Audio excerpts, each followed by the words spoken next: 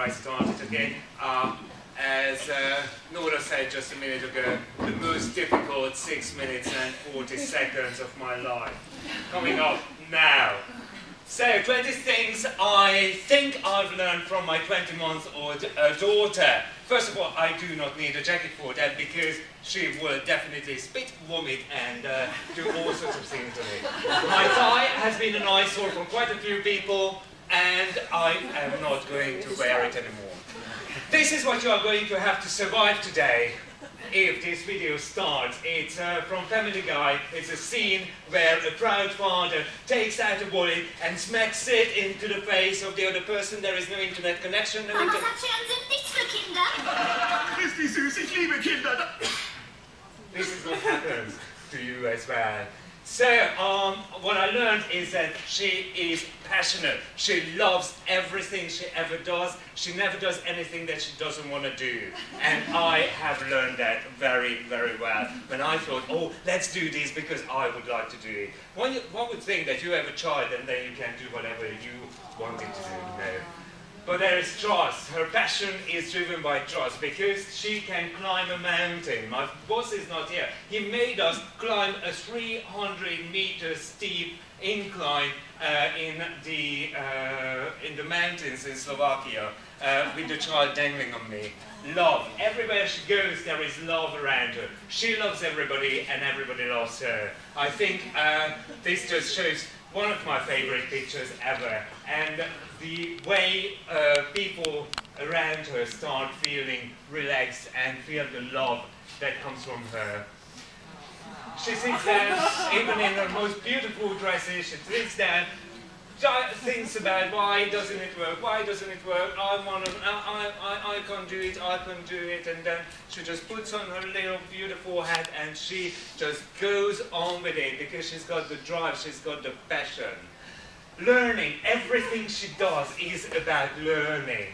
She learns about the world around her at a pace that for me is absolutely unbelievable. All the things that she's learned in the last 20 months is just the most beautiful thing that I've ever seen in my life. Come on, come on! Yes! Do you know what buck is? My daughter is bilingual, so you can guess both in English and in Hungarian what buck is. Yes, it's Robbie, or uh, sword sticks. No, you would never know. I've learned it from her, and since then we call buck buck, even if it's not Robbie or sword stick. Nothing is too easy, nothing is too difficult. In the picture there, she's reading a survey on Shakespearean. she started very early, she loves it, uh, she has some problems with it. First time she went to, the, to a television set was with this movement, because all she had ever se- uh, had seen before was an iPod, so she tried to scroll it. Everything is new, and if I don't understand it, it's my fault. It's never her fault, it's my fault that she doesn't get it, but she goes on with it. She gets on with it very, very uh, determinedly, even with that face. And she's cute even when she's not. Um, done for fun. The most tedious, the most boring thing in the world is still fun. And she does it because she enjoys it. It goes back a little bit to passion. This is where I recap, and because I didn't have any other ideas. Um, no, no, no, no, no, that's not the case. Um, my favorite picture ever. She can even laugh at being sold for 1,040 kilo, per kilo. Uh, it was Children for four- 1400 forints, that's not bad. Uh, she's. I paid a bit more than that her. She's a traveler. She was born in Dubai. She went to the IATEFL conference in uh, Harrogate two years ago. Uh, she goes through my suitcase every time I get home, and she always knows that there is nothing in it for her because I'm a, a useless shopper. Um, she has the most amazing ways of finding her way through uh, drawers and cupboards, and uh, she doesn't understand what the problem with having everything on the floor is because she can find it. So what's the problem? She knows where it is. It's on the floor. So what's the problem? Well, energy. Um, most of you have probably more children or for a longer time than I do, but the amount of energy she has is just gobsmacking. She is everywhere, all the time, every time. So she will say no, I think.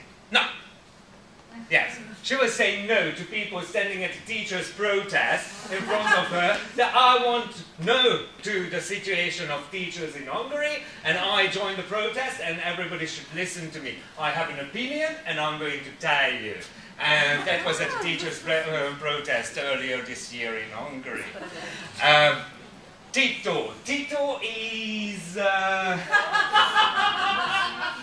no, no, no, no, not, not, from, not, not from former Yugoslavia. No, no, no. Tito is hinta or swing. Uh, everything is a toy. Uh, we went to an exhibition where she found all the cushions and she built her own castle from cushions. Yet again, a nice scene from our bedroom, uh, as my daughter imagines it basically trying to figure out a way of getting into the trousers uh, with the determination of yes I can, yes you can. She's a can do. So why do you care? You care because in your teaching, that's what you need. Passion and a drive for learning. Everything in your classroom and everything in my classroom needs to be passion driven. I must love my students and my my work as much as I love my child because that's what it's all about. And the energy I give into it and get out of it is also part of my job. And that's why it's fantastic to be a teacher and it's fun to be a teacher. and it's all going to happen then because I forgot to put in the last slide. Yeah, this was it. Thank you